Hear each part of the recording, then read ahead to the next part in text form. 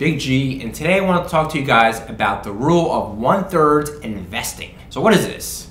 I heard about this incredible concept of investing through the Rich Dad Poor Dad podcast from the best selling author Robert Kiyosaki, who wrote Rich Dad Poor Dad. It's one of the best investing and asset and just wealth mentality book out there.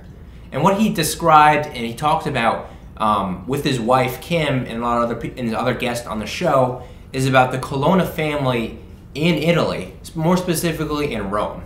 And this you may have heard about the families such as the Borghese, the Orsini, the Medici, of course, in Florence, all these kind of big, you know, box office Italian names.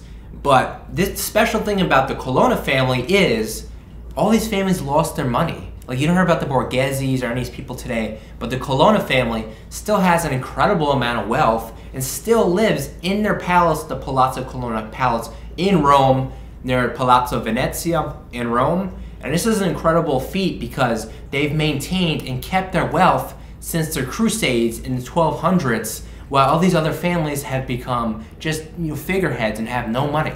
So what, how do they do this? So on the podcast, I had learned that they use the rule of one third investments and they invested one third of their assets into gold and jewelry, aka precious metals, which makes sense because gold is an excellent store of value. It's a good hedge against fiat and irresponsible behavior and money printing and you know bad leaders and just history. It shows that it keeps its value over time because gold you have in every civilization from the Mesoamericans, the Mayans, the Romans, the Chinese, everybody, you know, you know, I have a gold ring, everybody likes gold.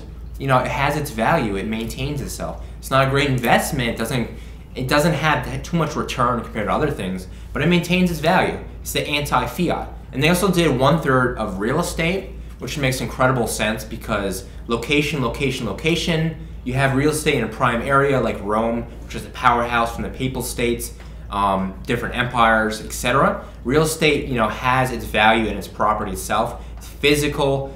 It's not intangible. It's there. It has its value. You know, whether you rent somebody out for a room, you know, you sell it. It has its value. It's not going somewhere necessarily per se. Even if the building is destroyed, you still own the plot of land. You have a deed to the property. It's physical. So they maintain that throughout all the wars and wars of secession and empires conquering Rome and all this stuff because they maintained their property. If they needed to evacuate, they would take their gold and the next thing, which is art, on their list, and they would evacuate and just come back when times were peaceful and maintain their wealth that way, where other people squandered their wealth through irresponsible behavior. Number three is my favorite, which is fine art.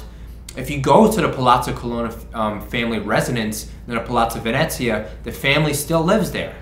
They still have their art, and they have world-class art. Art, like real estate, is physical and tangible, and there they have great masters from Caravaggio, um, incredible like Titian, great painters, and they have all the oil paintings and beautiful furniture in the palace itself. It's an incredible experience. I really wanted to impart and share with you guys this tip, these tips today of the rules of one-third investments. You don't have to follow per se, like you know, nail to nail, but I would highly suggest this of gold and precious metals, commodities, art, um, and real estate, which is a trifecta a beautiful investment portfolio.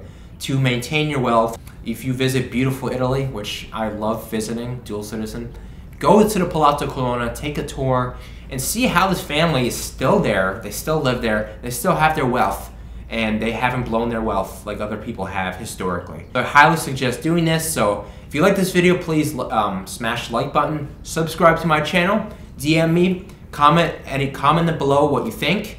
If you disagree, agree, I'd love to hear that. So uh, I'll see you in the next video. Ciao.